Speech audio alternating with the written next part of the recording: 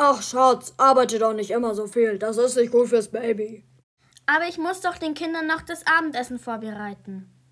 Schatz, setz dich hin, ich mach das für dich. Kochen macht Spaß, Kochen tut gut, ja, Kochen macht munter. Leonie, glaubst du, ob Mama ein Junge oder ein Mädchen bekommt? Also ich tippe auf einen Jungen. Was denkst du? Also ich glaube, es wird ein Mädchen. Ich habe eine super Idee. Wir könnten ja eine Gender Reveal Party machen. Hä? Aber Leonie, was ist denn eine Gender Reveal Party? Mia, das heißt Gender Reveal Party. Mama, wir haben eine grandiose Idee. Ach ja, was denn?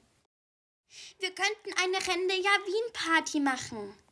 Das heißt Gender Reveal Party. Gender Reveal Party, super cool, da bin ich dabei. Ach Leute, ist das nicht zu viel Aufwand? Ach Schatz, das wird schon. Wir feiern einfach eine mega Fete. Yippie! Das wird eine super Fete.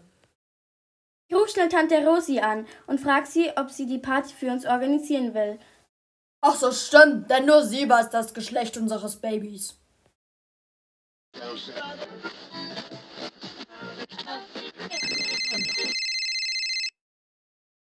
Hallo, Rosi Müller am Apparat. Ach, hallo Katrin, wie geht es dir? Schon in den Wehen ausgebrochen? Nein, noch geht's mir super, aber ich habe da mal eine Frage.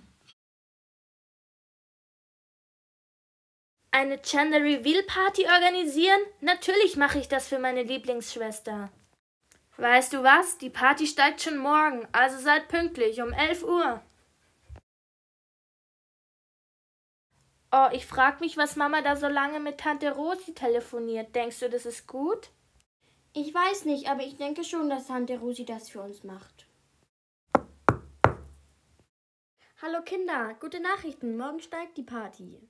Yippie! Aber jetzt ab ins Bett. Morgen wird ein anstrengender Tag.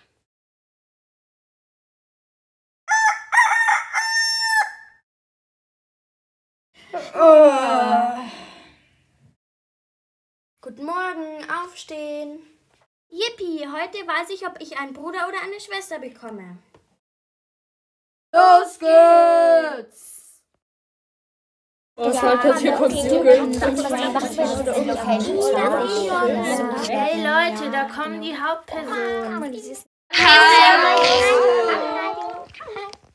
Hallo, schön, dass wir da sein dürfen. Okay, ähm, jeder, der denkt, es wird ein Junge, kommt auf meine Seite und die anderen, die denken, es wird ein Mädchen, auf die andere.